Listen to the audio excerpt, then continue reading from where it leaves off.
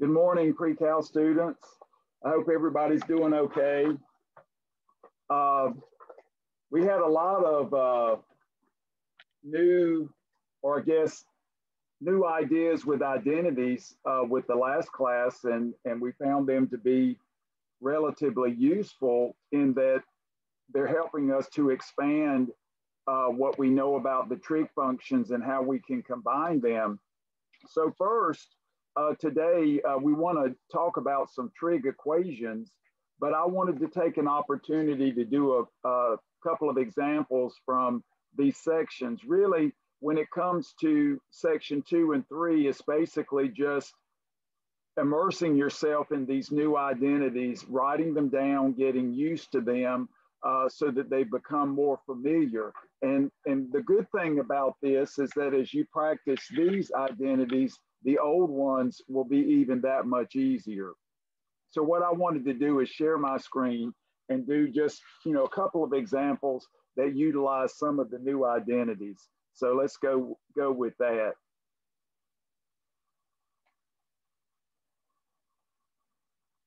Let's see here. Let me find the IPEVO. Here we go. Now, what I was talking about, at least in terms of what I thought to be interesting equations or problems uh, is based on uh, the kind of uh, questions I was getting during my conference hours. And one that was very popular was combining uh, a sine and a cosine function. So here we have three sine of pi x minus three square root three cosine pi x. And these, these came up uh, frequently. Now remember, we have that lemma, which allows us to combine the two functions, the sine and the cosine, into one so we can apply graphing techniques if necessary. So this is very useful in, in other classes, even outside of mathematics, which, well, that's nothing new. So we have uh, the lemma a sine x plus b cosine x equals the square root of a squared plus b squared times sine of x plus phi, where phi is defined by its tangent. That is, the tangent of phi is b over a. So this is a very useful way of, again, combining a couple of trig functions into a format that may be of more use to you as opposed to this. So again, it's restrictive, but still it has its merits. So now we can just compare from the model, just like the identities we work with all the time. We have A is equal to three, and we have B is equal to the negative three times the square root of three. So first, let's just go ahead and look at what uh, uh, tangent of phi is. So tangent of phi will be b over a. So we get negative 3 square root 3 divided by 3, which is the negative square root of 3. Now this is something we know about. This is on the unit circle. So phi will be the inverse tangent of the additive inverse of square root of three, but of course the inverse tangent is, is odd, so we can factor the negative. And we know this is gonna live in the uh, fourth quadrant. And we're not required to move it around into the positive. Sometimes we'll find that we need to do that, especially with solving equations. So now, of course, we think of the inverse tangent of root three, which is the, the sine is root three over two, the cosine is, is one half, so that gives us uh, pi over three. So this will be a negative pi over three.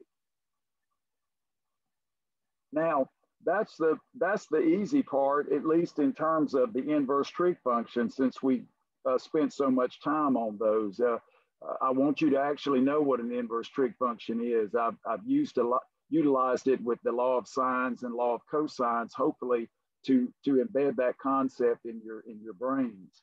And so now all we have to do is just square things. So a squared plus b squared that'll give us a three squared. And of course, if we square here, we get another three squared uh, times a three. So squaring the negative uh, three gives us three squared and squaring the radical just gives us three. So this is nine times one plus three, which is what, nine times four or 36. So now when we write this, using this, we could fill everything in. So this will be equals. Let me move this down a little bit. There we go. Bring this down a little bit more, makes it a little bit larger. So now we just replace here the square root of 36. And then we have sine and fill this in. The x now has been replaced with pi x. And then we have uh, minus pi over 3 for the phi. And so if you want, you can factor this. Well, this will just be 6 sine.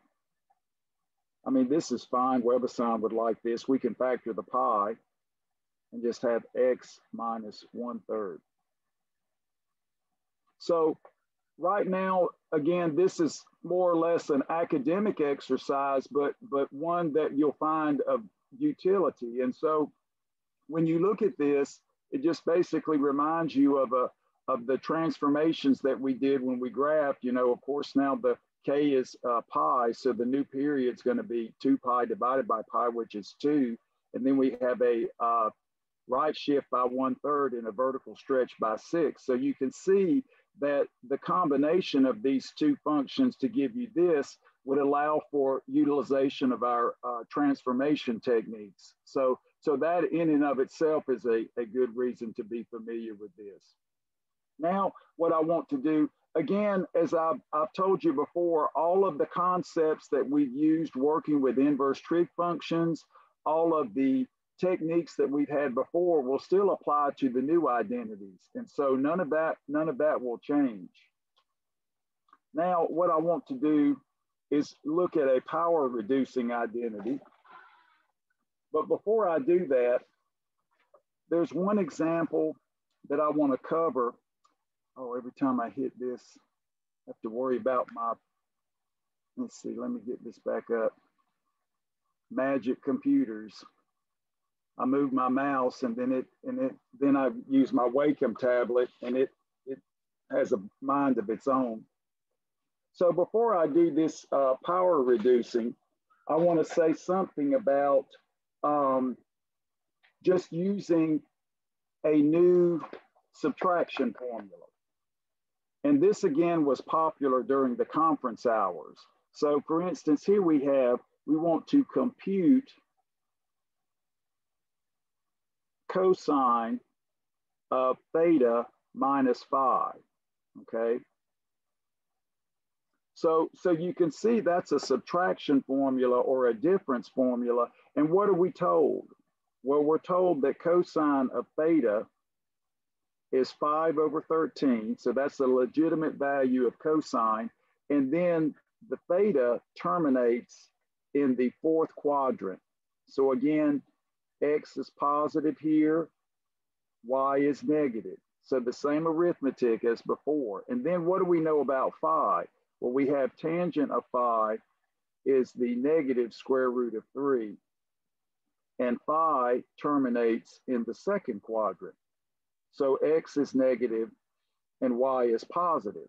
So, so again, the arithmetic is the same. And so what we can do, since now we have triangles, we can draw first quadrant reference triangles and then attach the appropriate sign uh, based upon the arithmetic of the quadrant. So here we have a theta and we can do uh, adjacent over hypotenuse and now, of course, this is a nice Pythagorean triple. If we square the 13, we get 169. And if we square the five, we get a 25. So we can look at the difference here. That'll give us two fours and a one. But of course, that's 12 squared. So this, this side would just be uh, 12. And so now here, the reference triangle for phi you can do, if you want, you can put a little hat there, but that that's just extra notation that may confuse you. So even though we're looking at the reference triangle, the idea is that we get the right sign by referring to the arithmetic of the quadrant. So this is actually a better technique and it doesn't require you to draw forever.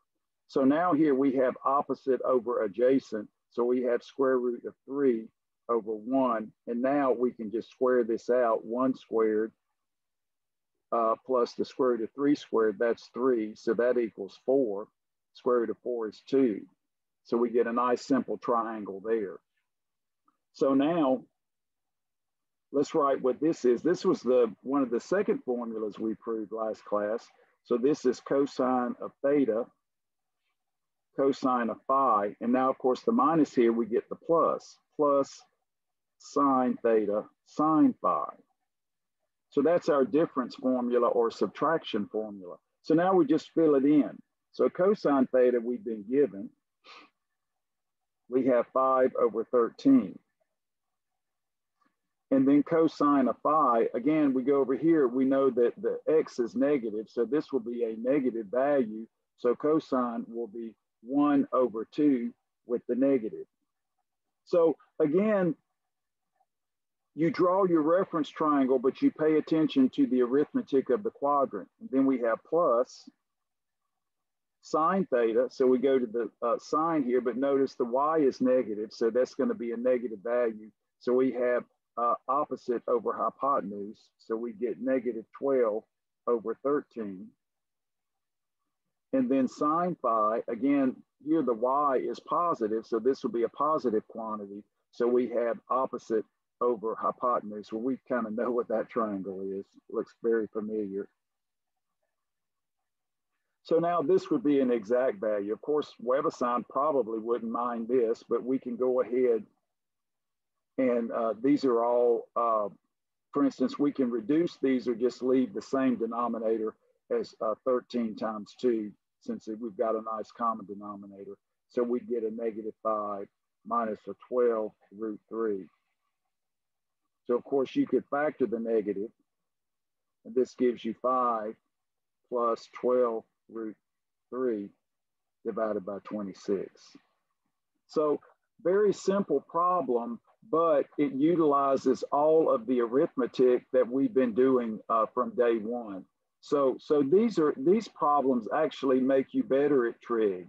Uh, but again, you have to embrace the new identities and commit these addition and subtraction formulas to memory. Uh, they are the building blocks for all of the other ones, and you can always kind of revive yourself if you know those. Okay. So now what I want to do is a power reducing example. When you get to Cal 1, you do utilize some aspects of power reducing but not as much. You're probably more interested in just the basic trig identities when you do the differential and integral calculus of the trig functions. But when you get uh, to Cal 2, you're going to focus on more of the higher powers of sine and cosine, and you're going to figure out that their uh, uh, calculus is complementary in the sense that, that they have very nice um, uh, derivatives that repeat that are cyclical, unlike the tangent function, which is kind of a nightmare. So, so we want to capitalize on that. So here's an example. Now, when you take calculus, you're also going to learn about reduction formulas for powers of sine and cosine or all six trig functions, which would also be a route uh, around this type of problem that we're going to do. But what we want to do is write write in terms, I'll tell you what it is, right in terms of the first powers of cosine. This is good to know. And once you do it once, you'll never forget it. Now, the, the idea is we want to use a power reducing formula. So we had the cosine squared of the argument A was going to be 1 plus cosine 2a, the double angle. divided by 2. So this is what we call the power reducing formula. And then I'm going to remind you, I'm going to use another use of A, but it'll be easy in the binomial. For the very first week, we'll do the binomial theorem in general uh, at the end of the course. That's the very last thing we do um, after we learn about math induction. And, and this was one of the formulas that you had the very first day. And this is a cubed plus 3a squared b plus 3a b squared plus b cubed.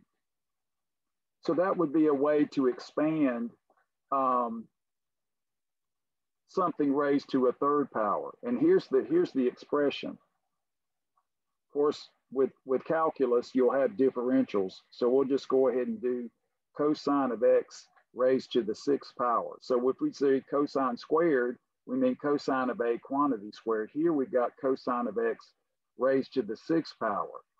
Now, the idea is that if we use this reduction formula, then we can reduce the powers and then frequent application of this will cut down all the powers to a first degree. Notice cosine of the double angle is degree one. It's just the power of that is one.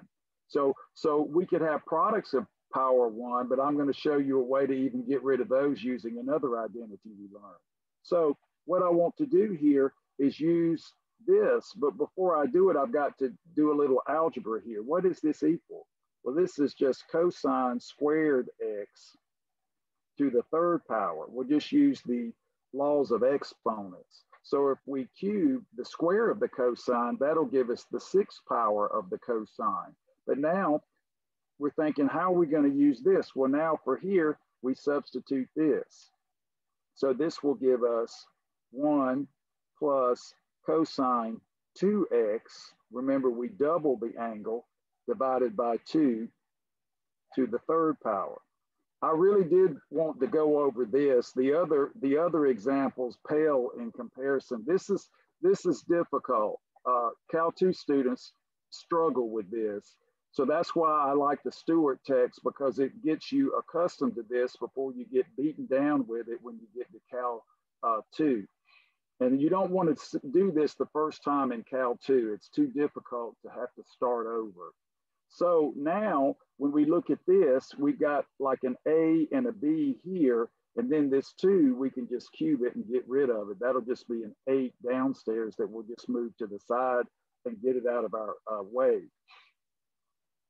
So this would be one eighth.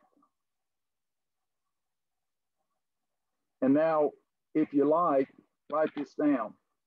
A for this formula is one and B is cosine 2x. So this is going to help us when we get to the binomial theorem. I do actually think about what I teach you, and because I'm basically an expert in analysis, I know the calculus sequence. So whatever I'm teaching you in this class, you need to know. This is not for your amusement or mine. Uh, this is going to help you uh, do well in calculus, uh, but it will not be easy. So cube one, well, we like that. That's just one plus three. Again, we cube one, that's one times b. So that's a cosine 2x plus three. We love the ones. Three times one is just three and b squared gives us cosine squared 2x. So we square the b. And then the very last one is just cosine cubed 2x. So a cubed, 3 times a squared times b, 3 times a b squared, and then b squared. So now we look at that and say that's this one here, that's a first power. So this, these get checks. These are good. We don't have to do any more to these. We may, we may end up with more of these terms, but these are done. These are first powers. This is a square, so we need to use this again. And then this has a square times a singleton or unit uh, power. And so we get to use this again. So let's do it. Now the reduction formulas that you learned with integration by parts would avoid using this, but students at that time have to decide do they want power reducing or they want to use the reduction formula. It's a choice that you have to make. and then your antiderivatives will look different. So they're, they're, they're checks and balances, so to speak. So we have one plus three cosine 2x plus now we have a three. But of course, this is going to be another application of this. So we're going to have a two. So let's go ahead and factor the two. I'll bring this down a little bit so you can see it. So now this will be one plus, now we double the two, we get the four, one plus cosine 4x. So again, we have the one plus cosine 4x divided by two, and I just bring the two out here with the three. Okay, so that's done. Now here, when we look at this, let's just do a little sidebar for this one this equals cosine 2x times cosine squared 2x, right? So that's, again, what we just did in the previous one. So that's a first power, but that's a second power. So we need to apply this again. So this will be uh, cosine 2x. And then, of course, times, well, we're going to have the, the 1 half, so we'll just pull it out. And this will give us uh, 1 plus cosine 4x.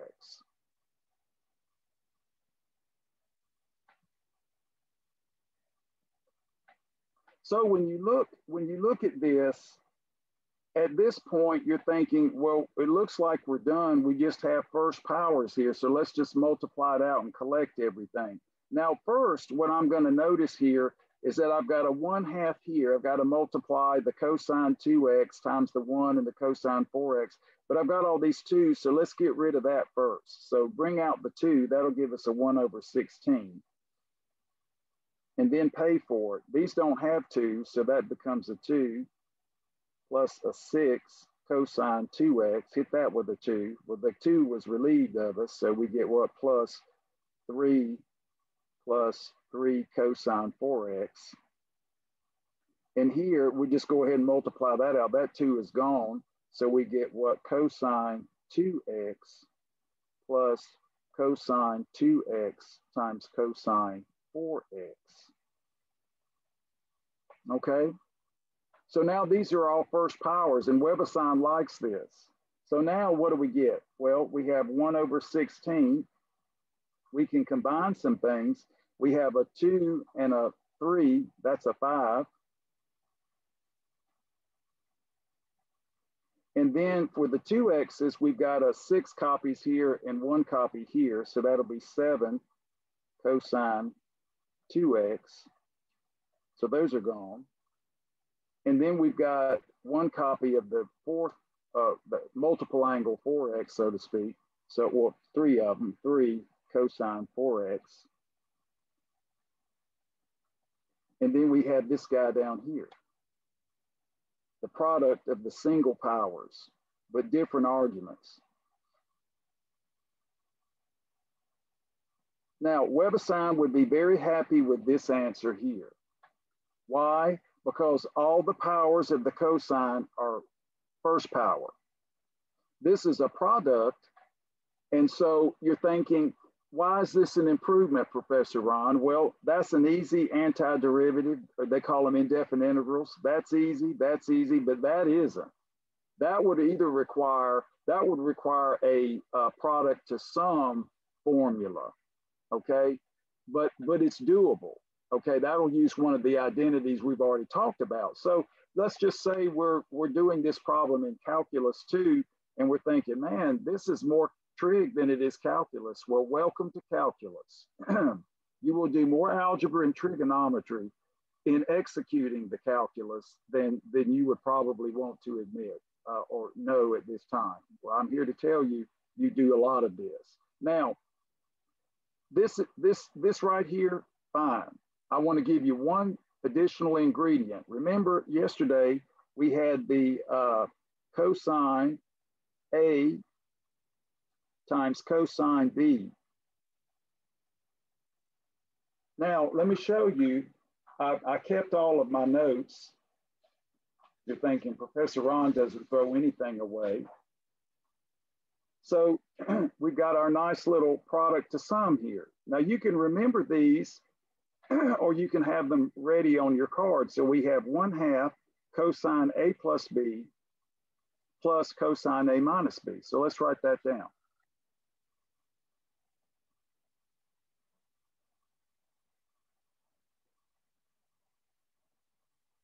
Plus cosine A minus B. So these aren't hard to remember, but when you're when you're busy writing a test, it's nice to have the reference.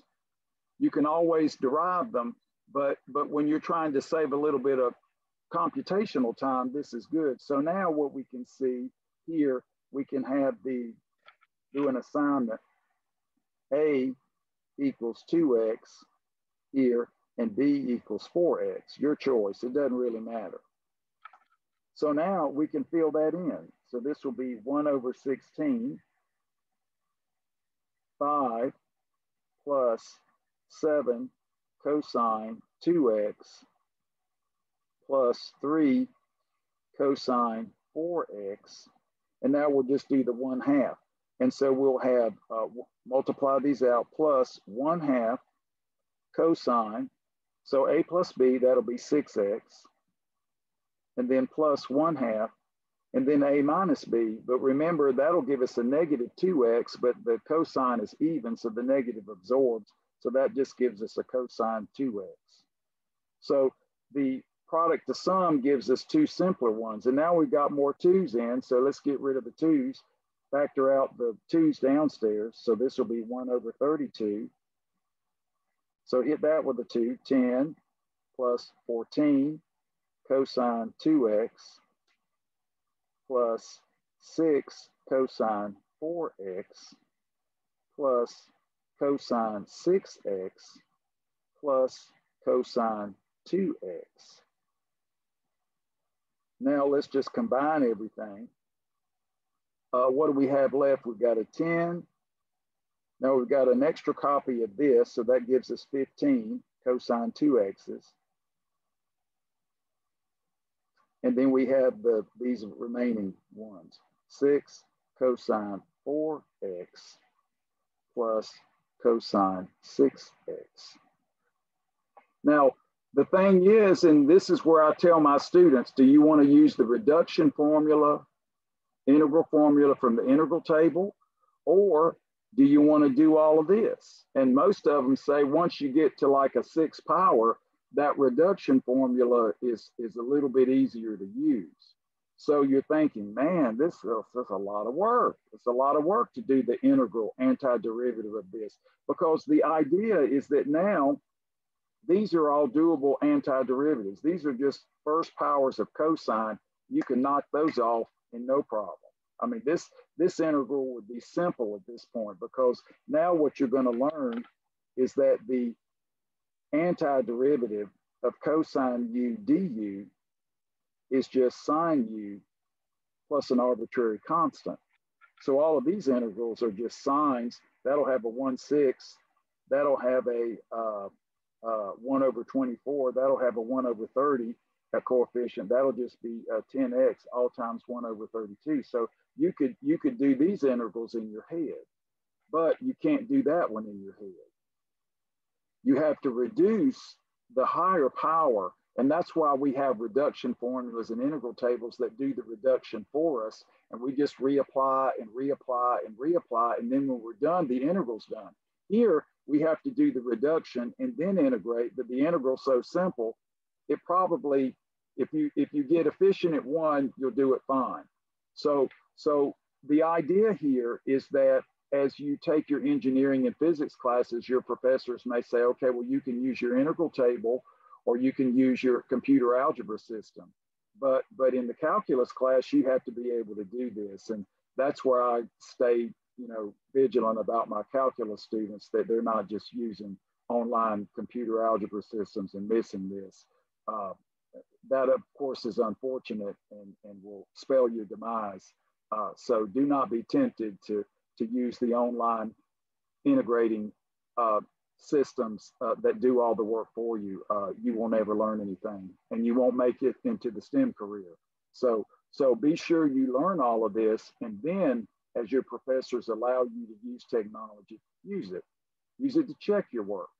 That's a good tool. That's like we have our Google calculator to get a nice calculus approximation after we do exact computation.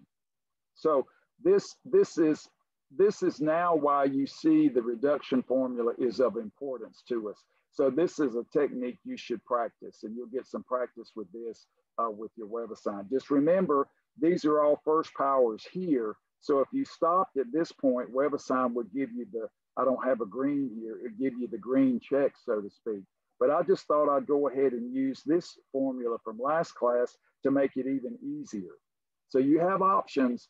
Uh, again, there is no one way to do any problem. There are many ways. And so I just want to introduce you to a technique that does come up in your Calculus 2 course when you take the calculus sequence. So that's a fun problem and a very doable problem. Now, let's see, I've got another example here that I want to do before I start with the equations. Let me look through these and make sure we get one that it will be of use. Oh yeah, I wanted to do one with the inverse trig, and also I wanted to do one, ladies and gentlemen, with the half angle. That was another problem that, that came up in the conference hours, and I think this would be interesting. So just to give you some practice with the half angle. So compute sine of x over 2. For instance, I was telling the students at the time that you can use your new identity to get the ball rolling. It's like we use the law of cosines if we have side, angle, side. And then we can use the law of sines. You have the problem where you have the polygon that you break up into two triangles, where you can use the standard one half AB sine theta, and then use the law of cosines to get that third side, which will allow you to get the angle. And of course, that's a lot of exact computation. But there's no one way to do it. Some students I recommended using Heron's formula. But again, you have to be careful with your decimals and write everything in exact computation.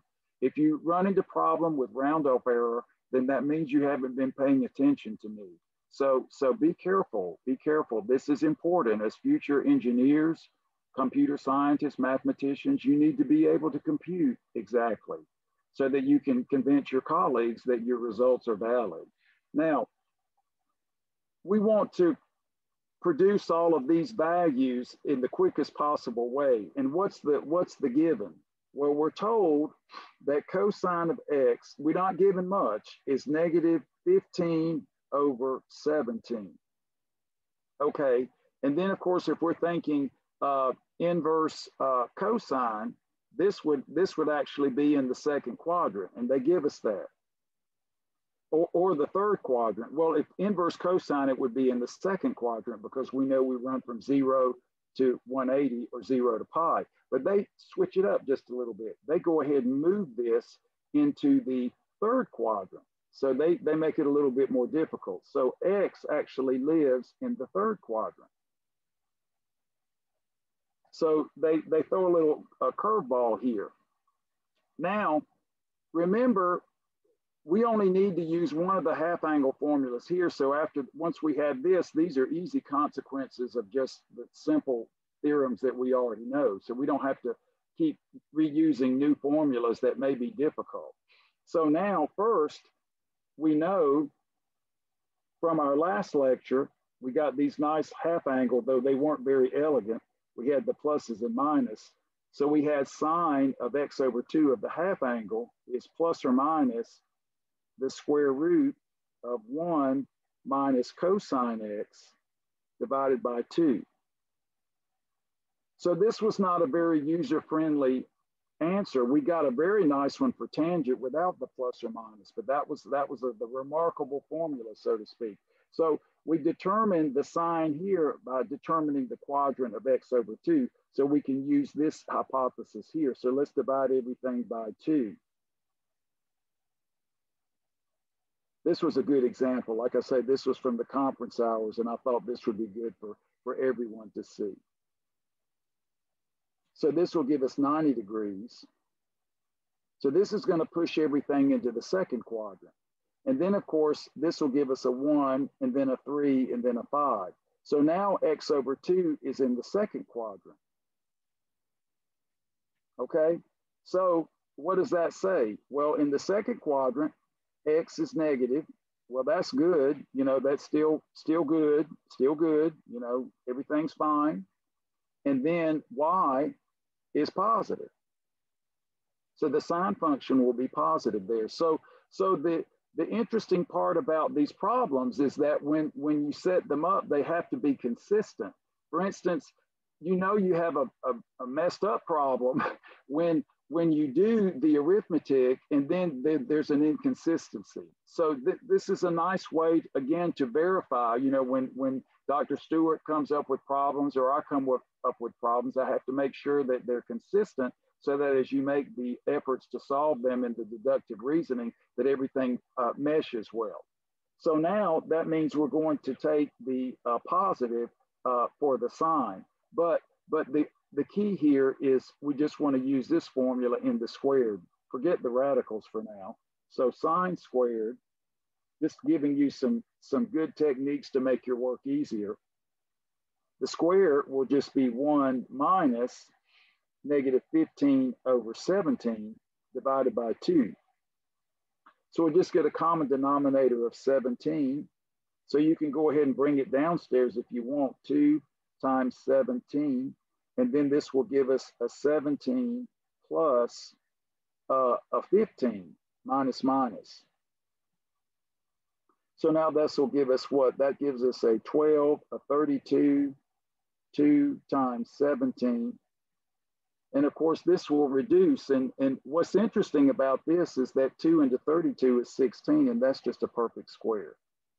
So working with the square first now allows you to square root things. We often work with the square of Euclidean distance to simplify our work. So now this implies choosing the positive sine of x over 2 is now the principal square root of this, which will be 4 over root 17. Okay, no, no rationalizing required. Just remember if it doesn't, that's a number and that's correct. Don't do extra work, please. Don't force yourself to do extra work, uh, not, not required. Follow the formatting directions. Hopefully by now you're getting really good at doing that. Now, if we look here, cosine of x over 2, let's just use the standard uh, Pythagorean identity. So we'll have cosine squared of x over 2 will just be 1 minus sine squared. Well, sine squared is just 16 over 17. So let, let me write this out so you have it in your notes. You know this is true. That's just the fundamental identity. So this is 1 minus 16 over 17. So once we have that square, we can use it again and then square root things. So again, that'll be 17 minus 16. So let's just write a common denominator, keep everybody on the same page. So this is just one over 17. But now notice the x is negative. So this implies that we take the negative square root. So cosine of x over 2 of the half angle will now be the negative of 1 over the square root of 17. So, so again, uh, working with the squares makes the computation easier. And now tangent is just sine over cosine. So we don't have to use a fancy, you don't have to use the half angle formula for tangent. What I'm trying to show you is it's kind of like we were doing the triangles. Get the ball rolling with this and then use the simple relationships that you already know from your previous work to finish the problem because you have better things to do with your time than, than doing extra work. So now this will just be sine over cosine. So here we got what sine, which is four root 17. And then cosine, we just flip it. That'll just be root 17 over negative one because we divide, so invert and multiply. The 17s go, so we just get negative four. So, so the, the work that we're doing here, all of this, this is old. Nothing, the only, the only new part was this right here. That was the only new part. Now, what, what's good about this is that it gives us additional arithmetic comp, uh, computational ability. Um, it allows us to add new angles and new terminal points to the unit circle. I mean, we don't really add them. Maybe you can just put them on a note card and say, well, I know this. We know we know uh, cosine of 75 degrees, right? We, know, we, we, we computed that um, uh, for the law of cosine problem. So, you know, the, the idea is that with the new identities, we have even more arithmetic, arithmetic uh, results that, that make our work a little bit easier. So, so this is a good example, but very simple as you, as you see. Now, I just want, again, I want you to be aware of the fact that when we work, uh, again, anything you do with the inverse trig functions and all, um, we do we do the same thing that we've done before. There's no difference. So don't don't look at those and and start making it up. Uh, just keep everything on the uh, same page. If you if you have to make a substitution, let alpha be the inverse trig function and flip it around. Do that um, that's the same operation and use your new uh, addition and subtraction formulas. Do your reference triangles like we've done in the previous examples, and you'll find that you just have, you know, more problems that you can do. That's it. So we expand the identities, so we expand the number of problems that we can do. Now, what I want to do is in our completing of the uh, trig uh, portion of this course, we want to talk about basic equations. So 7.4 and 7.5 will just be trig equations. Now we've already been solving equations. In 6.4, we've already solved equations. And we've solved equations for sine and cosine uh, using the law of sines and the law of, of cosines using Professor Ron's lemma. So, so just to just to kind of remind you of that, remember, uh, we'll just have the very first one here. We have, for instance, sine of x equal b. And we'll just say, for the first case, one, we'll say theta, we'll say solution theta in upper arc. Solution theta in the upper arc, zero to pi. Then we have second solution is pi minus theta, or 180 minus theta if we're in degrees. Two solution theta in the lower arc, say from pi to 2 pi. Second solution, this is Professor Ron's lemma. We've already talked about this. This will be 3 pi minus theta. So that so the idea is that we know in the period 0 to 2 pi that sine function is not one to one. Okay, it's not one to one. Uh, clearly, we had to restrict it to make it one to one. So if we have a solution in the upper arc, then we can find the second solution by subtracting first solution from pi or 180 degrees.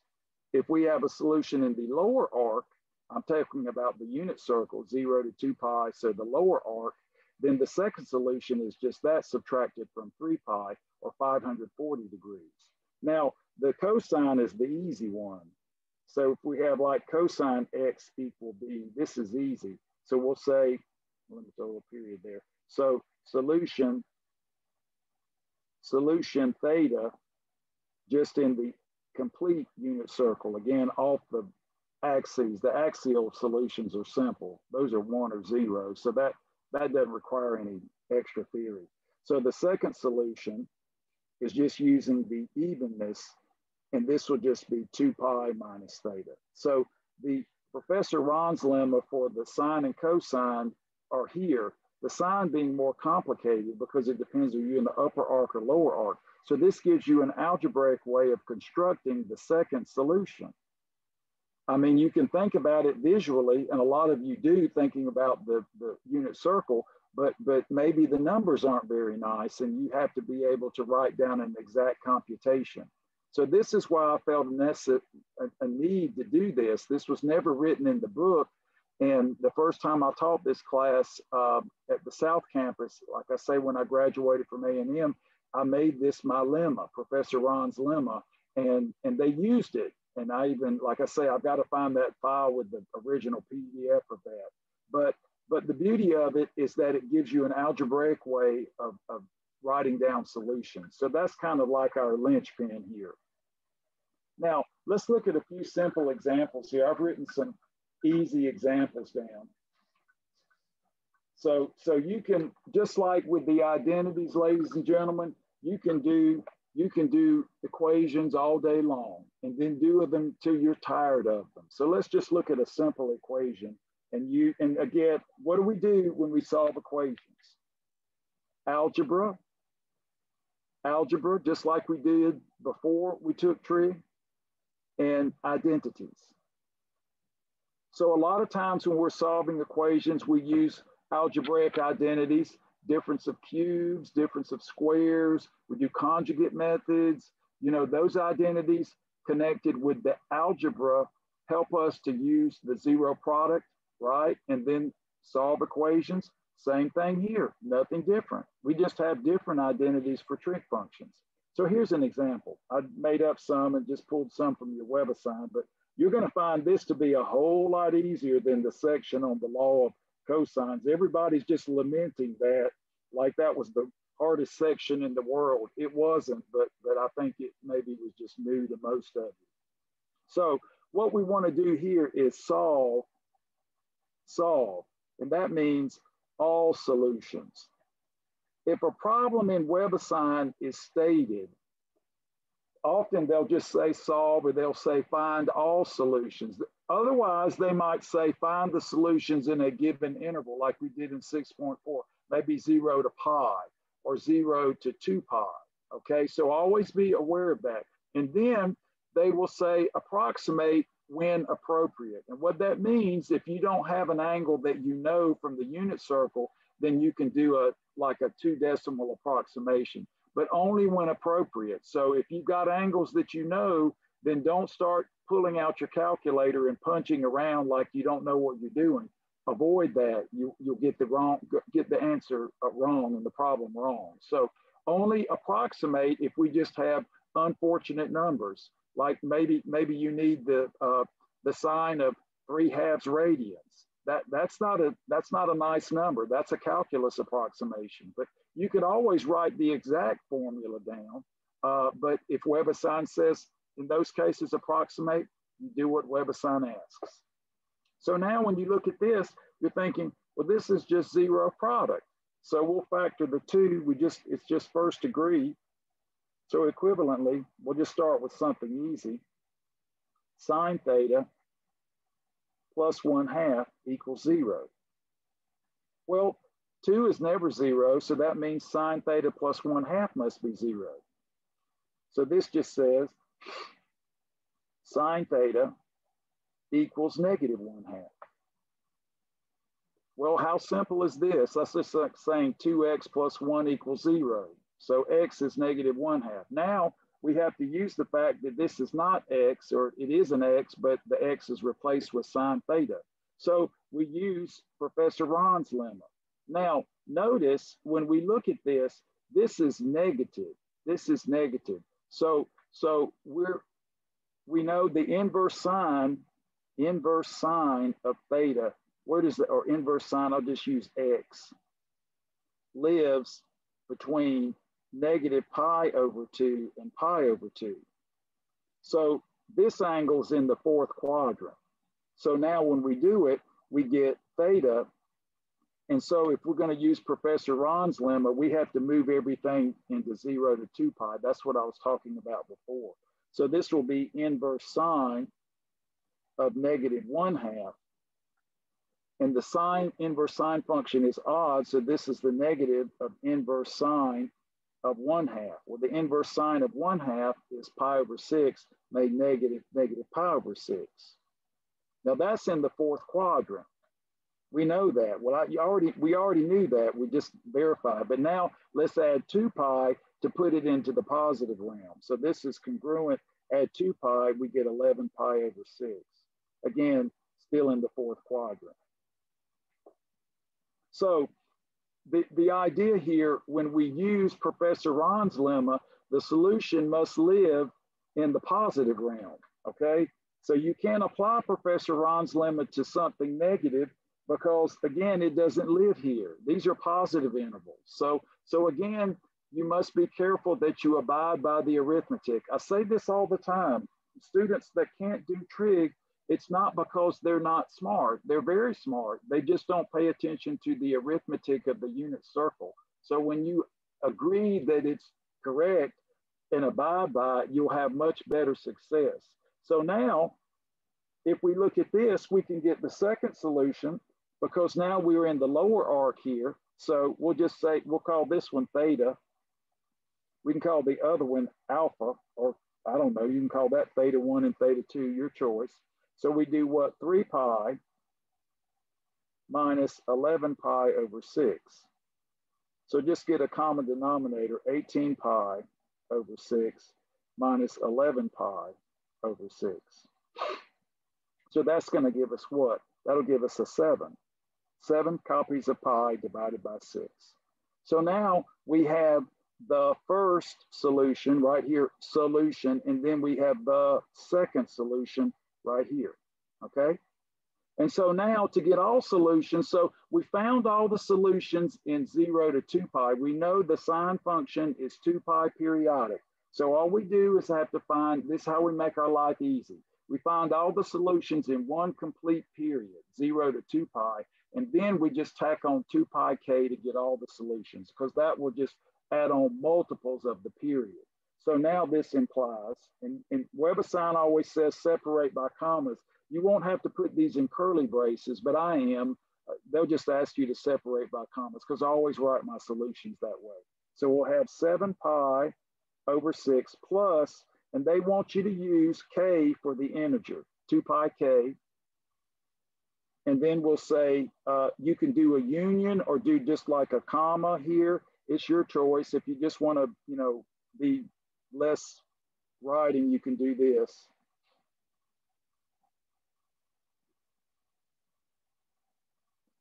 Now you're thinking you could write these sets separately. This is how you'll write it in WebAssign. You put, here's the box, and you'll just do this, comma, the other one. Now, you could also write this as a union. You could say 7 pi over 6 plus 2 pi k union 11, that's how I write my smart pen videos, plus 2 pi k. That would also be correct, but, but that's a whole lot to do. So when you do, when you do your WebAssign, you're gonna put this solution here, and then your comma, and then your second solution inside the box. That's all you have to do. But, but again, remember these are solution sets, so I'm always gonna use the curly braces and probably just stick to this one since it's more like what you'll be typing in WebAssign. Okay, so that's all you have to do. Use some algebra, Professor Ron's lemma. This is the key. This is the key right here. So let's do some more.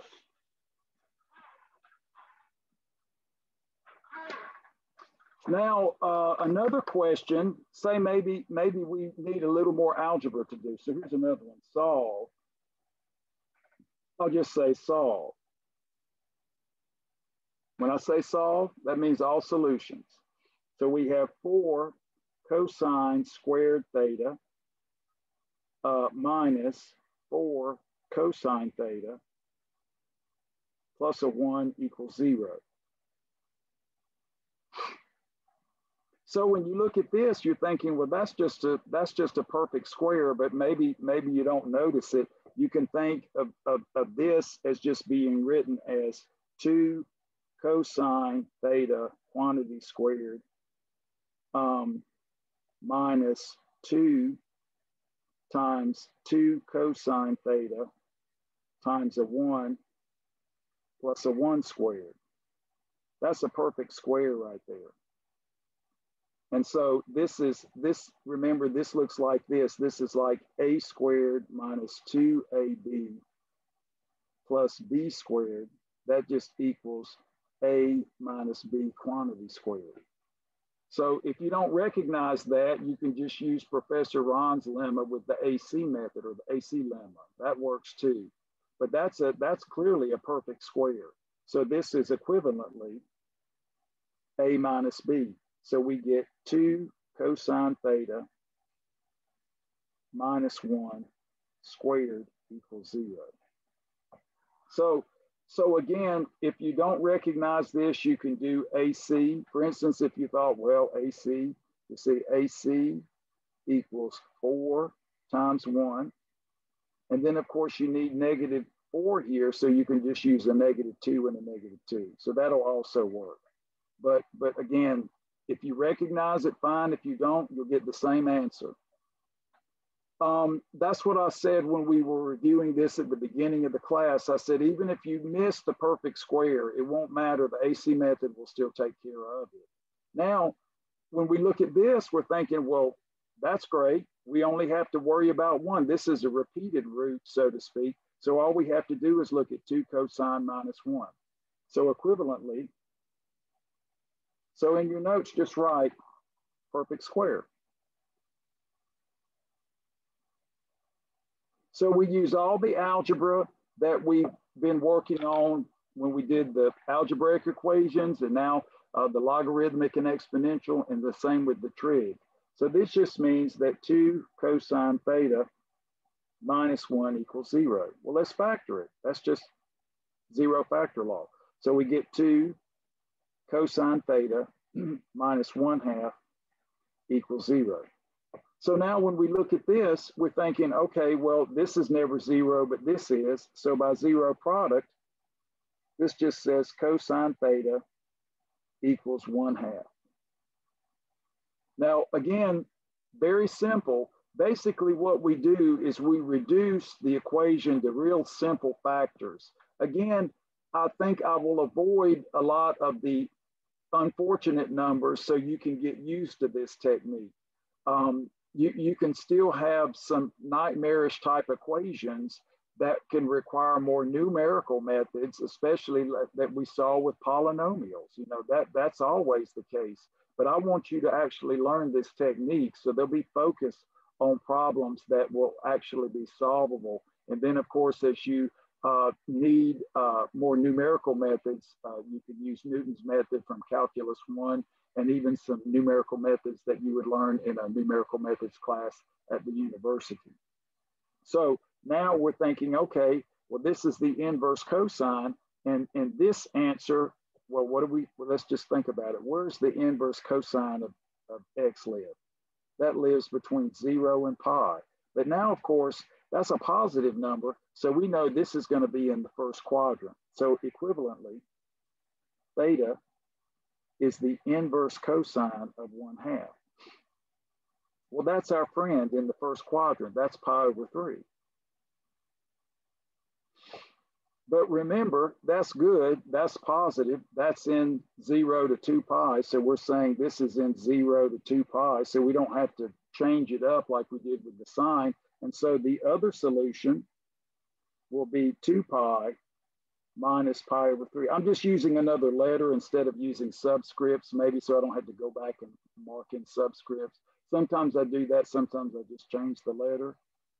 So this will be a 6 minus a pi, so this will be a 5 pi over 3. So now, again, we have, because we have the perfect square, we don't end up with four solutions. So we have this and this. So these are the solutions in zero to two pi. That is, this is the, these are the solutions we find in one period. And so that's all that we have. And then we extend them infinitely by adding two pi k. So now this means our solution set, we'll just start with pi over three plus two pi k, and then five pi over three plus two pi k. Now, sometimes when you're doing these problems, if they if the, these uh, uh, numbers here actually differ by like multiples of pi, you can consolidate them a lot of times to make the uh, the statement of the solution simpler. That's always something that can happen with trig equations. So don't be don't be fearful of that. Um, you're thinking if your if your solution set is redundant, it's better that it be redundant than not uh, sufficient. Okay, so you don't want to have gaps in it, but but sometimes you get overzealous and you you you you have uh, redundancy in your uh, solution. But but I'll I'll show you about that if that comes up. It's not something to worry about. Better to have too much, knowing that you've got everything there. So again, a basic equation using some algebra.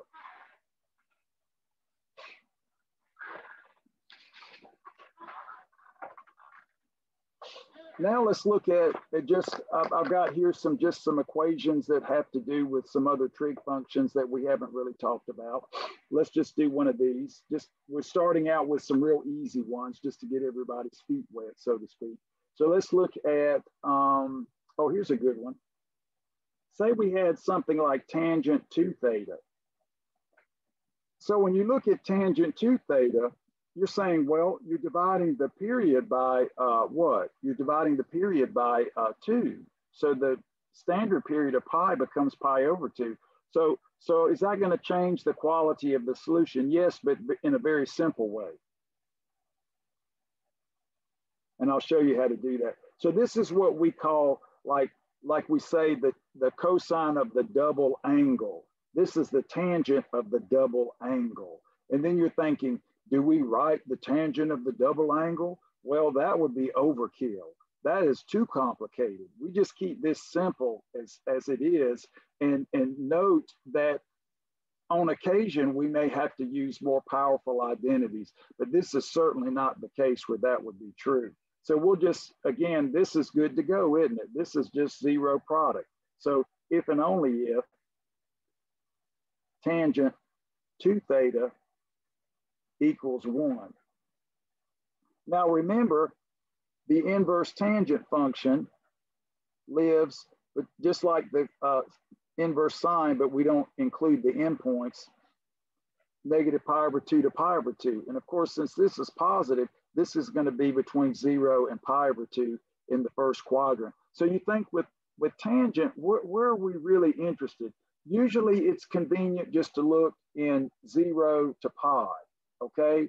And then we can affect the division by two once we extend. So let's just go ahead and look in zero to pi, but we're like, okay, we don't need Professor Ron's lemma because in zero to pi, the tangent function is one to one. Now you're thinking, what about secant and cosecant? Well, that's just cosine and sine. So that's Professor Ron's lemma again. So there's nothing different there. And of course, cotangent is one to one on its period. So, so you don't need a Professor Ron's lemma for those functions. Secant and cosecant are covered by cosine and sine. So, so everything's good.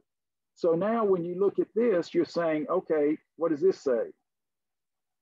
2 theta is equal to the inverse tangent of 1. Well, life is good. That's, that's on the unit circle. That's uh, pi over 4.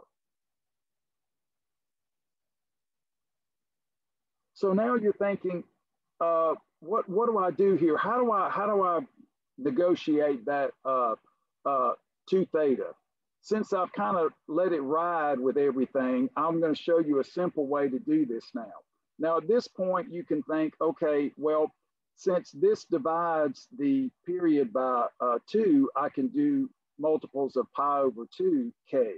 But here's an easy way to do it in a, in a more algebraic fashion. So we'll say then for all solutions, we'll have 2 theta equal pi over 4 plus pi k. So I'll give you the opportunity to go ahead and extend to all solutions. So if 2 pi is equal to 4 pi over 4 plus any integer multiple of pi, that's a solution. But what's theta? So then you can go ahead and divide. So what I can what I can uh, give you here as a solution technique is extend, extend by pi k, then divide by two, or whatever the coefficient of the theta is. Maybe it's a three theta or a four theta, okay? So this is, this is a technique that might allow you a little less chance for error. Again, you can just do, you know, you can divide and do it that way. But this way, this way, all the algebra is set up for you. So now we divide by two and we get theta equals pi over eight plus pi over two times k. And now when you look at this, there's your complete solution. So I think I found that students have a little bit more success with the multiple angles if they treat this just like that's a plain theta. Run it through, go ahead and extend if you have to do Professor Ron's lemma or anything like that, and then divide. Because if you don't, then then you're going to think, okay, well, I, I divided the period, but I didn't divide the actual solution. So this, this technique here will actually be easier. And so now when you write your, fill in your uh, blank here, you just have pi over eight plus pi over two k and you're done. Very easy, okay? So, so this technique will be good. You can, you can make variations on it, but I don't recommend it. You, you'll make errors. This way you'll get it correct. Now let's look at another one. 2 sine squared theta equals 2 plus cosine 2 theta. And we want all solutions. So we want to say solve. Just like we had this one, solve. So now when you look at this and you think about the equations we've done before, we it's like we had one variable, like we had an x. We didn't have an x and a y. So this is like having an x and a y. We've got uh, sine squared and we have cosine of the double angle. And we're thinking, well, we can't really apply the algebra very well uh, with the different trig functions running around. So this is what I said before. Let me go back to the, uh, where did I set that? Oh yeah, where I give you Professor Ron's lemma, algebra and identities. So now what we can do, we're thinking we've got a nice configuration for the uh, angle, the double angle of the cosine uh, here, or cosine of the double angle, uh, using the identities from last class. So we can say, all right, and write everything in terms of sine. So over to the side, just remind yourself, cosine 2 theta can be written as 1 minus 2 sine squared theta, the cosine of the double angle. And this is what we use to get the power reducing, remember? That's the power reducing. So we have 2 sine squared. So there's not, there's not just one way to do this, but this is certainly a way that's easy. So then we get 2 plus 1 minus 2 sine squared. So we replace this with this using the identities. So this is like an algebraic identity that we would use uh, like previously the perfect square. But this is directly tied into the characteristic of the cosine function and its addition formula. So now we can put everything on one side. This is easy. This is the square root property. So this is going to give us four copies of sine squared And then here, notice we've got a, a equal three. So we're like, oh, wow, very good. So let's, let's go ahead and factor it. Put everything on one side if you want. So we have four sine squared theta minus three equals zero. So we want to write this as a leading coefficient one. So let's divide by four. So we get sine squared theta minus 3 fourths equals zero. So that's a, that's a difference of two squares. If we think of this as uh, the square root of two, square root of three over two, that's the square root of that. So if and only if we have sine theta minus root three over two, sine theta plus root three over two equals zero. So this is where, I mean, if you think about this and, and what did, let me look up here. WebAssign actually gave us a little break here, not that it matters. They say solve, we can do all the solutions, but they just say solve in zero to two pi. looking at my notes here, they say solve in zero to two pi. So you can easily extend all of them if you want, but now that means that we have to look at this and this. So if and only if by zero product, we have sine theta equals square root three over two. Again, a very simple equation using the unit circle, or sine theta equals the negative square root three over two.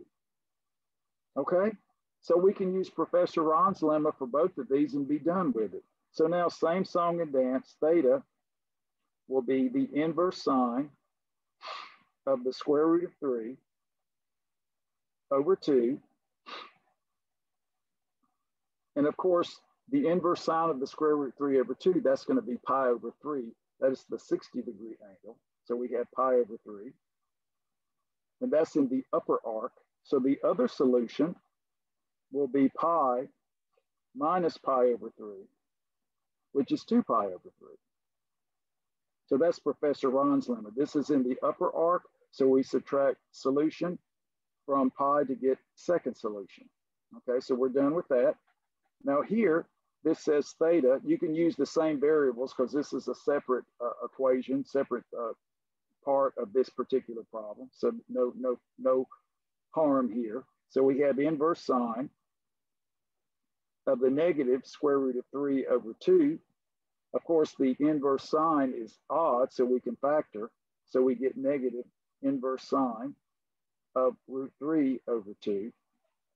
And that'll just give us the negative of this, negative pi over 3. But of course, we expect this. This is in the fourth quadrant, but that's not, not in a positive realm. So this will be congruent to negative pi over 3 plus 2 pi. So when we add, that'll be a six minus a one. So this is five pi over three. So again, this, this gives us lower arc. So that's one solution, lower arc. So now with the lower arc, we do three pi minus this. So the second solution by Professor Ron's lemma will be three pi minus five pi over three. So that'll be a three times a three, that's a nine. Nine minus five is four. Now, of course, if you look, if you look at all of these, these differ, these differ by pi and these differ by pi. So if we wanted to consolidate, we could we could write all solutions. I'll do both for you just to give you that idea that I was telling you about before. But now in zero to two pi, we have four solutions. That is, that's it. Professor Ron's lemma exhaust zero to two pi. So for this answer here, this implies, just list them. Just let me put boxes around all of them. So this will be pi over three, two pi over three, all exact computation. Use your pi's, no decimals. Don't, don't do that to me. You, you're, you're better than that now. 5 pi over 3. So if we solve in 0 to 2 pi, Professor Ron's lemma gives us everything. And in a lot of cases, ladies and gentlemen, you can sit here and kind of look at the unit circle and figure out what they are, but we just want to make sure we cover everything. Now, just as an, an additional uh, part or additional bonus to this problem, if you were asked to find all solutions, you could actually consolidate. So notice, notice here that these differ by pi, and these two differ by pi. So if I add 2 pi k to each of these, that's going to be redundant. I don't need to do that. I can just add I can just add a multiple of pi to this to get that. And I can add a multiple of pi to this to get that. So if I just add multiples of pi to pi over 3 and to 2 pi over 3, that'll cover everything. And that, that kicks, that gives you everything. So we can say uh, since 4 pi over 3, here let me so you can see that, 4 pi over 3 minus pi over 3 equals pi, and 5 pi over 3 minus 2 pi over 3 equals pi, we can write all solutions all solutions as by just adding multiples of pi. So we can say in this case, we'll have pi over 3 plus pi k, and then 2 pi over 3 plus pi k. So of course, if you add if you add pi, you get that one. If you add pi here, you get that one, and then everything else. So so it, it's not wrong to have redundancy in your solution, but it's a little bit inefficient. So if you were going to do all solutions, you just notice that that okay, well, you know, it's not like the period changed for the function. It's just that I don't want redundancy in my answer. So if you if you do all solutions, you could write it this way. So this is it's kind of nice to just do zero to two pi, kind of kind of see what's going on, see see if anything differs by a convenient multiple of pi, and then work out the problem that way. So that's just a little extra, just to remind you of what I was talking about before. Okay, let's look at another example.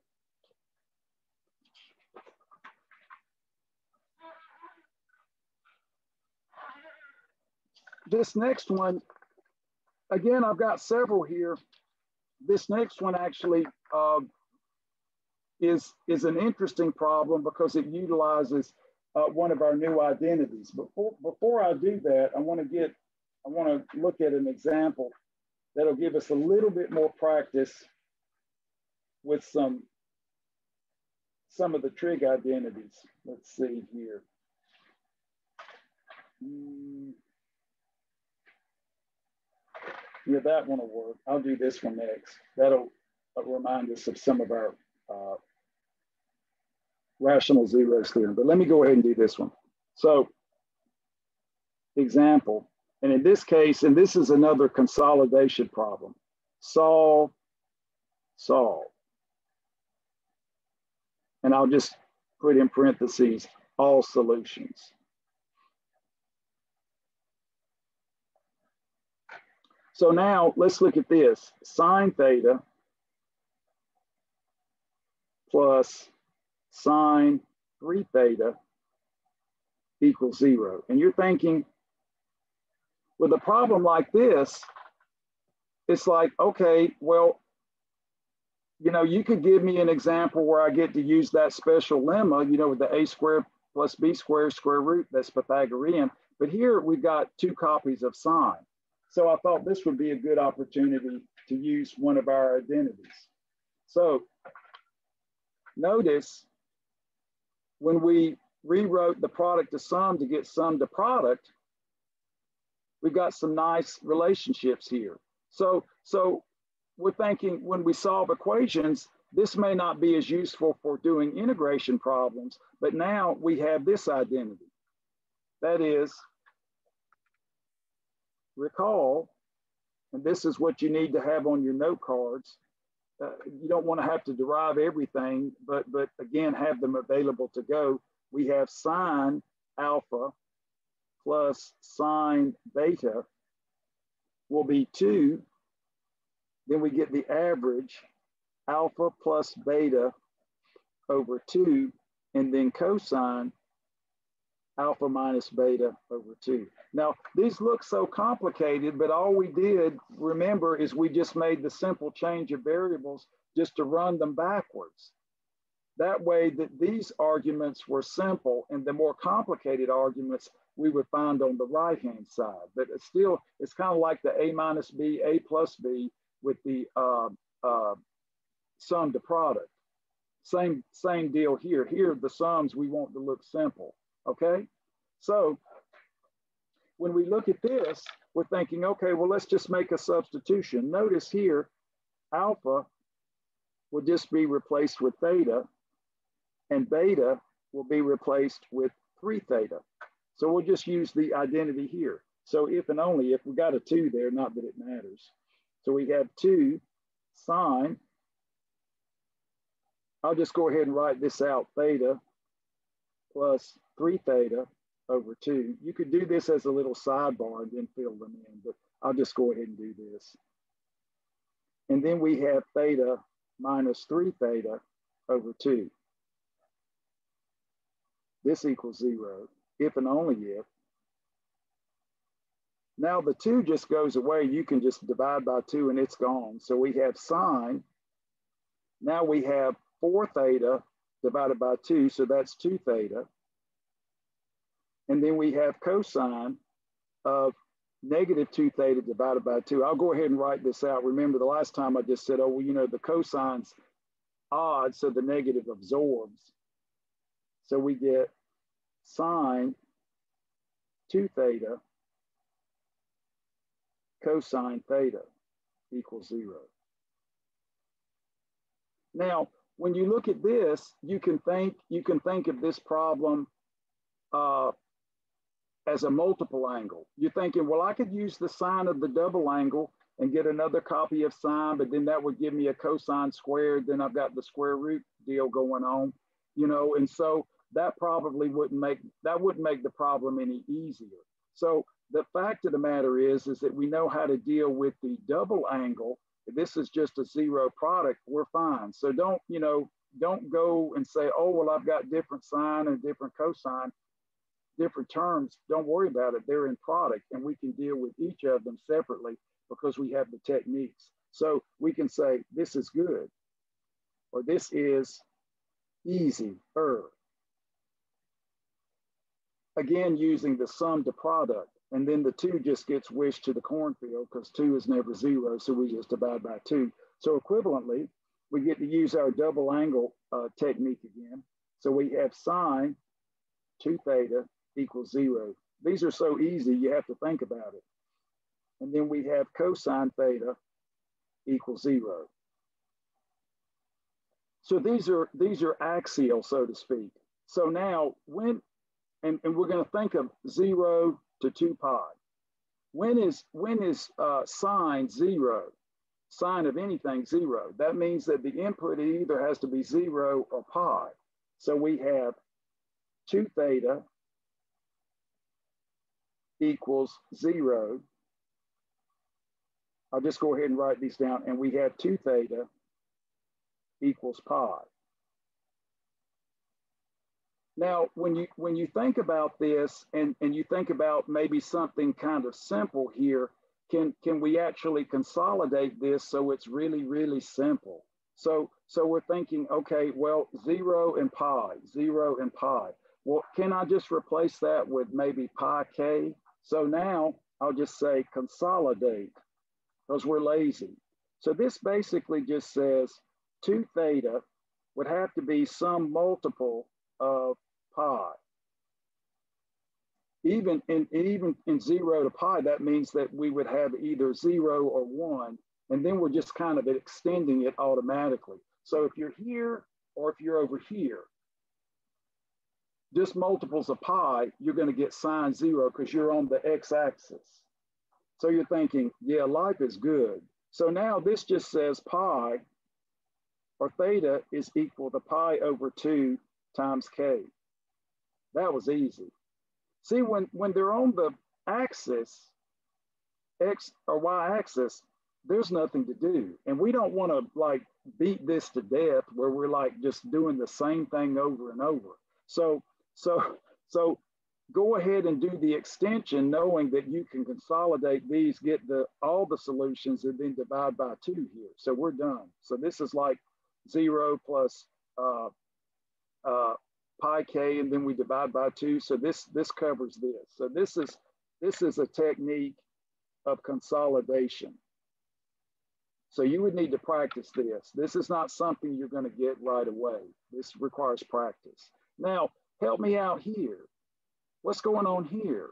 So when we think of, we think of cosine being zero, we think we're on the y-axis. So we get what, pi over two and three pi over two. Hmm, so if we're thinking of all of them, we're thinking of what? We're thinking of uh, odd multiples of pi over two. Hmm. Okay, so we'll say theta, we'll just go ahead and consolidate because we're lazy. This will be odd multiples of pi over two. So we'll just say 2k plus one. All right. And so when we think about zero to two pi, that would mean a k equal to zero for pi over two and k equal to one for three pi over two down here. So, so it's kind of like this. When it's easy, it's easy. If you make these problems harder than they are, you will come to grief. Maybe you have already come to grief. That's my favorite phrase from Fraleigh's abstract algebra. I think I've told some of you this. He, he makes a comment in his very famous book that's been written to many editions. He says, if you do not practice the theorem proofs and definitions, you will come to grief. He says, you may have already come to grief. And everybody just chuckles, yeah, we have come to grief. So, so the idea is that when you're here or here, that is, you've got what, uh, zero comma one, and you've got zero comma negative one, or you're here, one, zero, negative one, zero. So we know the sine is zero here, multiples of pi. So that's what gives us this. And we know that the cosine is zero, at least with a visual, uh, when we have multi odd multiples of pi over two. So we're thinking we're good to go. Now this one, this one's done. Now look, what does this say? This gives all multiples. This gives all odd multiples. So when we consolidate, we just get multiples of pi over two so that we're done.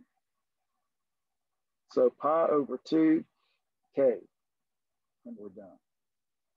This just focuses on the odd ones. This focuses on all of them. So this is a subset of this. So just, this covers everything. So that's a consolidation problem. I don't want you to look at this and feel like you have to do work and work and work and work. Look at this as easy. Professor Ron's lemma deals with the, the angles that live in the quadrants, but when you're on the axes, the life is, is good, the life is easy. So practice the consolidation in a very straightforward manner and just say, I've got two theta here, so that means two theta must be a multiple of pi over k for this sine to be zero, then that gives me pi over two uh, times k when I divide by two. So this technique is easier to remember. And this one doesn't have anything except recognizing the unit circle. So when we solve trig equations, you don't turn your brain off. What do you do? Always, uh, my, my unit circle always gets buried. I don't, let's see, between the, let's see, what did we with it? I don't even know if I can find it anymore. Is that it? Let's see, I'll, I'll, I'll find it. I think I've just buried it. I think I put it under the, here we go. There it is. When you think about the unit circle, always go back to this and remind yourself how far you've come. But everything starts here, okay? The arithmetic, everything we do is based on this object, okay? So, you know, think, make life easy on you always carry this around. This is like your identity. This is this is your your key to success with trigonometry. Okay, so that was easy. Now let's look at another example. I've got one right here. So just think about think about how in a calculus problem, this would be an easy integral. A sum is easy to integrate. So this would not be something you're going to be doing in calculus unless maybe you're looking at some continuity arguments. So, so we find when we solve equations and things, we, we kind of go in opposite directions. If we have products in, in uh, calculus, those are difficult antiderivatives. So we want to write the products as, as sums, like you'll see in your WebAssign, to make simple, simple uh, antiderivatives, like we did with the power reducing. Okay, now what I want to do is look at an example that has to do with a little bit more algebra. The, the interesting thing is, when you think about this problem, the first thing you're going to do is think rational zeros theorem. So I actually pulled this from your WebAssign. So let me take this out. So this will be, well, let me, let me get the paper clip off of this so we can actually see it.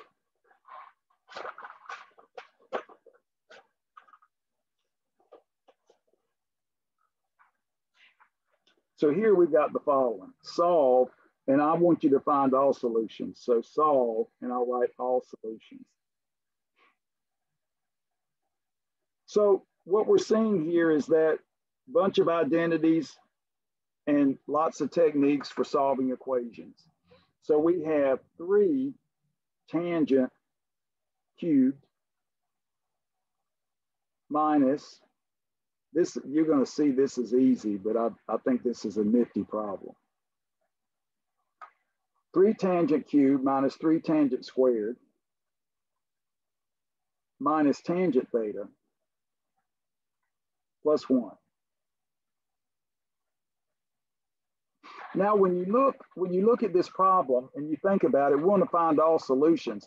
First, you're thinking this is just a, a college algebra problem where we can think we've replaced uh, x with tangent uh, theta. So we've got a we've got a polynomial in tangent.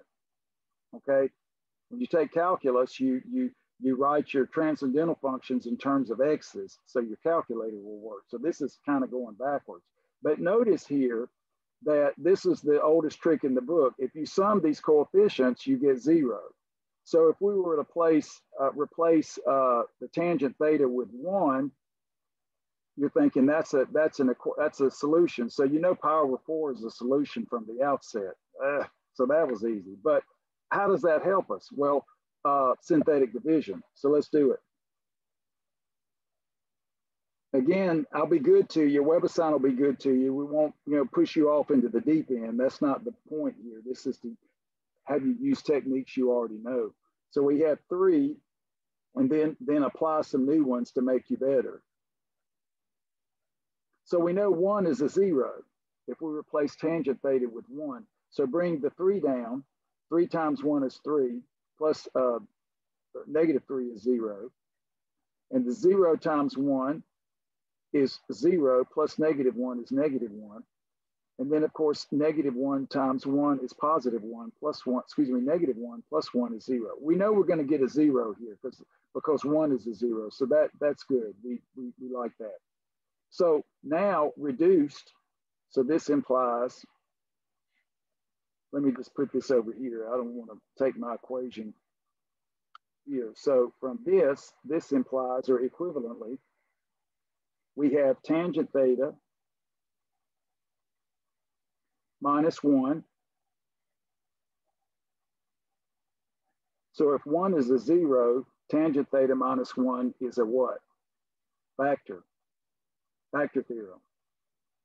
And then we have the reduced, so this will be uh, uh, 3 tangent squared minus 1.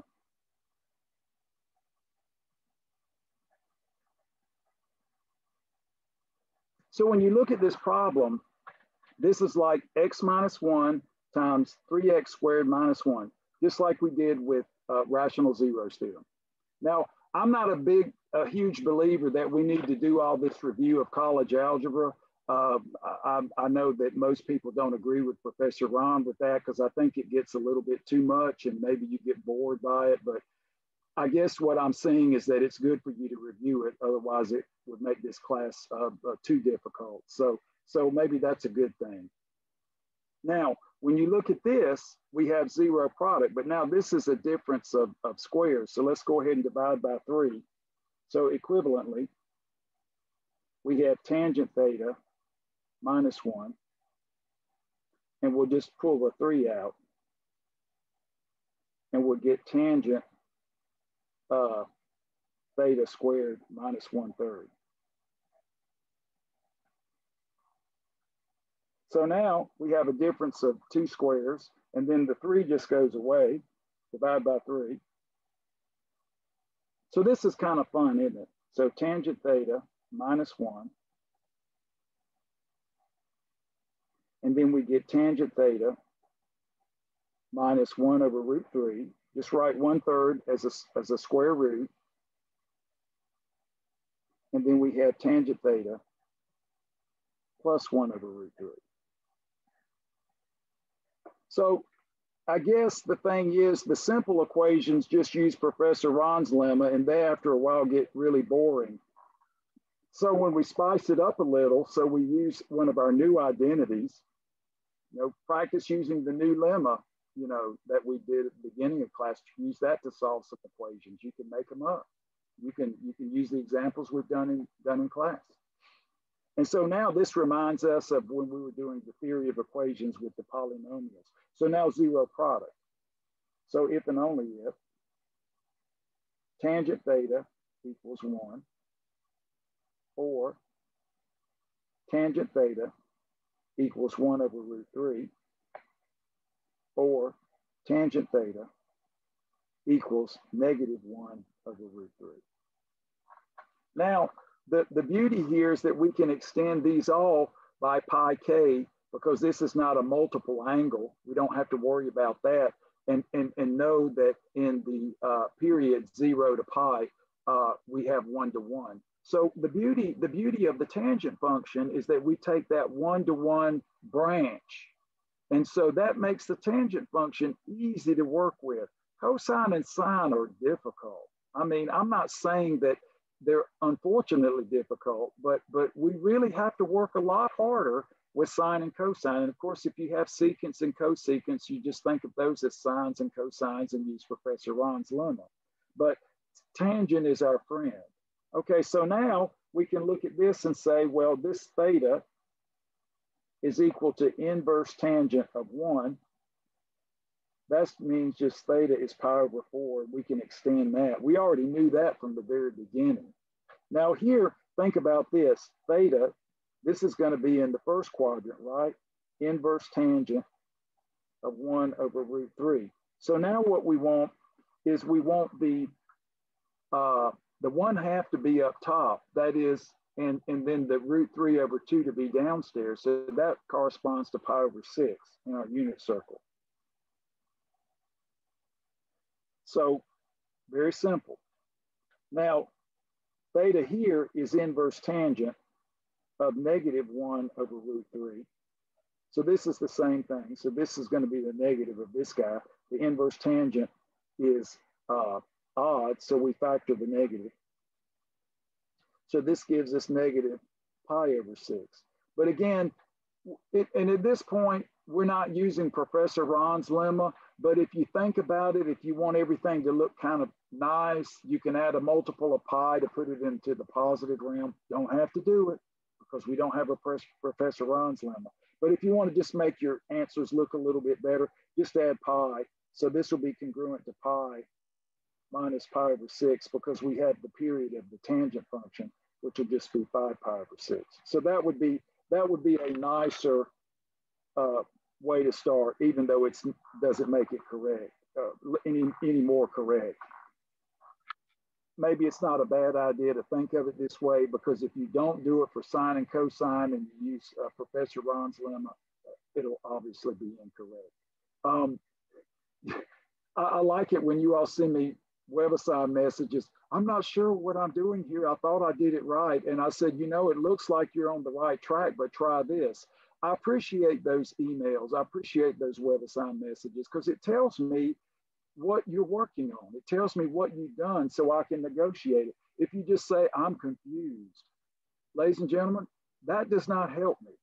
You have to convince me that you worked on the problem and say, well, I tried this, but I didn't get there. I'll say, okay, take that idea and let's work with that. So that helps me to help you. Uh, there's certain words in the English language that are too general. And when they're too general, that I, I can't help you. I always need specifics, so I appreciate that. So now let's extend by what pi k. So all solutions will be pi over four. Notice these aren't are don't differ. Uh, I mean, if we look at this, uh, this doesn't dip, differ by pi or anything, so we can't consolidate in a in a nice, elegant way. So don't worry about it. So we get pi k. Now let's just do the do the uh, let's just do the uh, the commas, and that way we'll keep it simple pi over 6 plus pi k, and then 5 pi over 6 plus pi k. Now, of course, I normally put the union symbols, but I'm kind of stopping that just to kind of give you how you're going to do this in WebAssign. You're going to have your little box here, and you're going to put your answers separated by commas, extended, especially when you need all solutions. Now, now, of course, if this problem said solve in zero to pi, you'd have this, this, and this. So we can say in, and sometimes they ask you to list some solutions in a particular interval. So don't be surprised if you do that and use the common denominators to make it more user-friendly. So we can say in zero to pi, we get what? Pi over four, just pick these off. Pi over six and uh, five pi over six. So when it comes to solving equations, when it comes to solving these types of problems, we just use everything that we have. Nothing, nothing in particular. Now, um, there was an example, let's see here. Let me just give you an example that utilizes uh, uh, a simple technique that we can knock out here. Uh, let's see, that's what we've already done.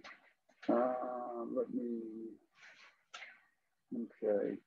Let me just give you one to, to think about and then we can uh, uh, finish it up.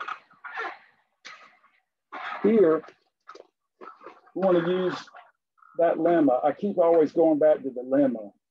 Lemma's a favorite of Professor Ron's. So here's a here's an interesting equation. I, I wrote in my notes here a good example. So if we look at this, in this case, we just want to solve all solutions. All solutions. And we have tangent theta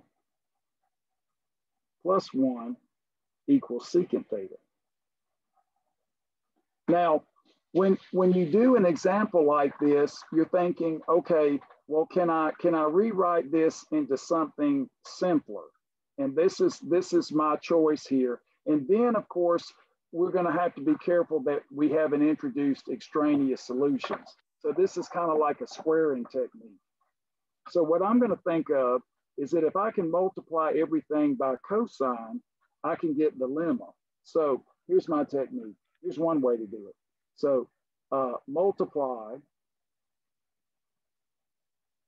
I do this in my smart pen videos too multiply by, uh, in this case, uh, cosine theta. So when we do that, we get tangent theta times cosine theta plus cosine theta equals secant theta times cosine theta. Now, when you do this, notice that the cosine absorbs the cosine in the denominator here. This gives us sine theta and then of course cosine theta. So you're seeing the lemma right here. And then of course this is one.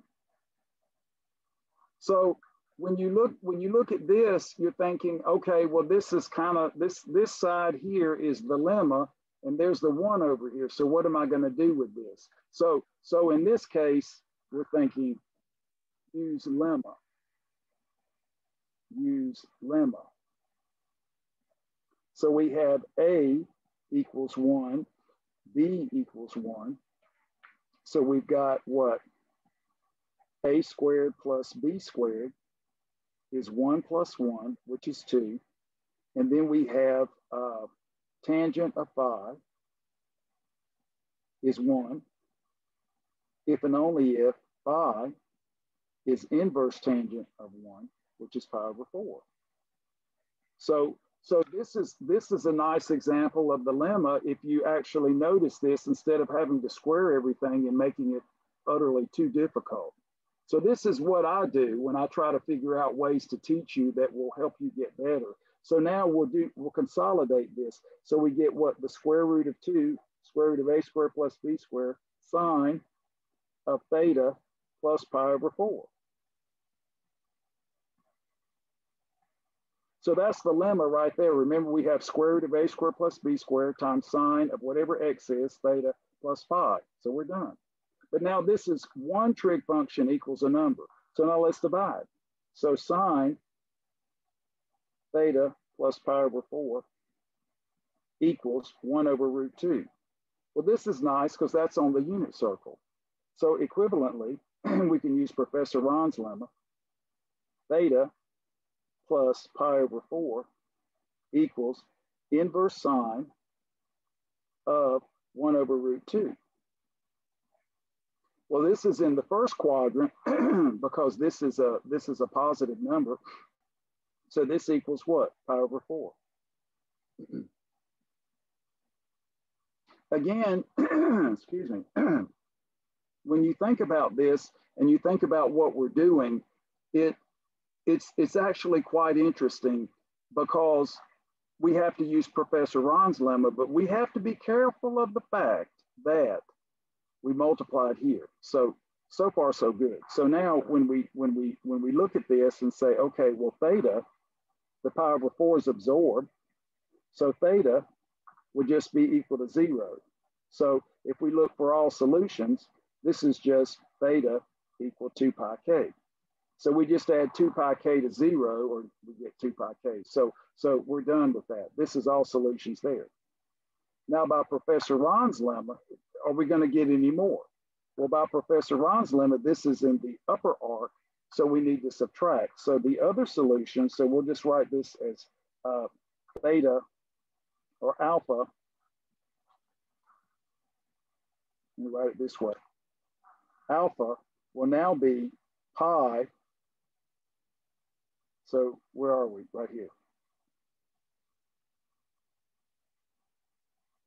So this is one, I'll just call this the first solution. And then let's see, what do we have later? Let me, let me write this correctly.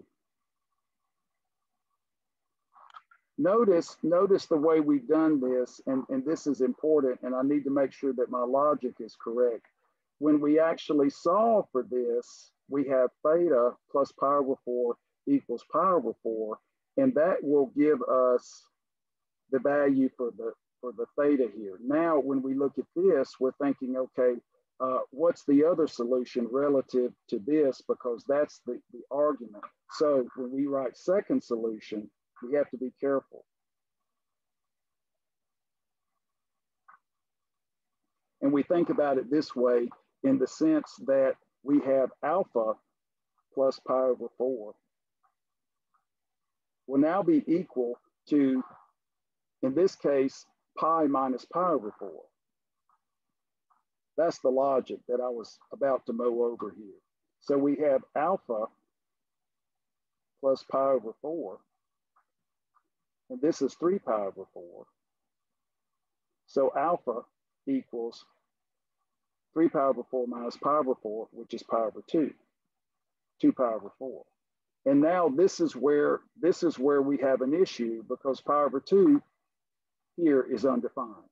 That is tangent of pi over 2. That's a vertical asymptote. So note here, logic of Professor Ron's lemma.